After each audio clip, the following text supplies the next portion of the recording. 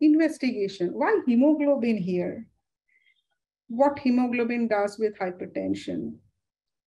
It is not always low hemoglobin, polycythemia can be associated, but low hemoglobin in chronic renal insufficiency, you have to be careful about. And also, if a patient develop heart failure secondary to hypertension and they have hemoglobin, low hemoglobin, you have to treat them gently. You can't really overload them with blood and uh, that can coexist. So you have to be careful about it. Cardiovascular risk assessment, you have to do sugar, you have to check the cholesterol, you have to check the kidney and EGFR because it is not only important for the target organ damage, when you are giving certain medicine, that is also important. And also you, sodium, potassium particularly. Now, in medical school or in some exams, we see that low potassium blood pressure is equal to Conn syndrome. But interestingly, many patients with primary aldosteronism or Conn syndrome, they don't have hypokalemia. So it does not mean normal potassium cannot happen. But if there is a diuretic induced hypokalemia in a hypertensive patient, think about Conn's. That is very important. I'm repeating. Diuretic induced hypokalemia in a hypertensive patient, think about Conn's. Hyponatremia is common with diuretics.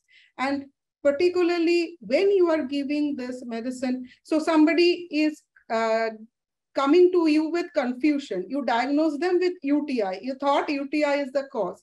You miss the point that the patient is perhaps in, on some diuretic. So you haven't checked that. Maybe the double pathology caused more confusion in a UTI patient with hyponatremia secondary to uh, a diuretic. They are on for blood pressure. So be careful about that.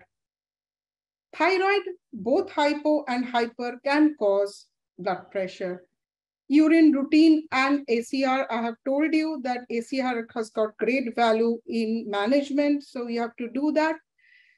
12 lead ECG, echocardiogram, renal ultrasound, and renal Doppler wherever applicable. It is not whenever the patient is coming, you are doing that.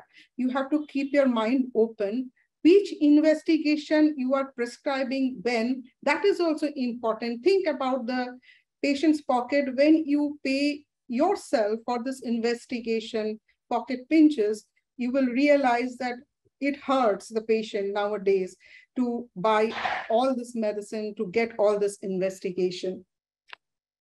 Now, this urinary metanephrine, serum cortisol, or aldosterone-renin ratio to screen uh, this hypoaldosteronism, hyperaldosteronism, or Cushing's, or uh, pheochromocytoma. This we don't do normally every day only if your suspicion level is high, do it. Or if you are facing a case of resistant hypertension, you are sending this patient to the specialist, they sometimes do it. But keep it in mind that if these things are coming to your mind, then definitely you can think about this kind of investigation.